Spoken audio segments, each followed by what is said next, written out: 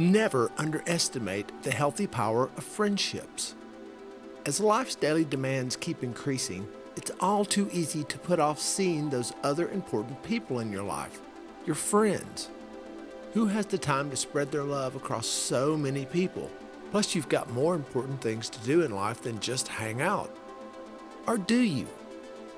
It turns out that developing close relationships with your friends is actually good for your health. Opening up, getting close, and sharing your feelings makes us feel more connected to our own lives, as well as reducing the risk of disease. You also create more serotonin, a neurotransmitter that increases feelings of happiness, contentment, and well being. So make time to nurture your genuine friendships this week. Deepen the connections that support you on so many levels. Don't just save those good feelings for your significant other or family. Share the wealth of love with everyone and watch as it comes back to you in triple. So schedule quality time with friends or let them know you care just by checking in more frequently.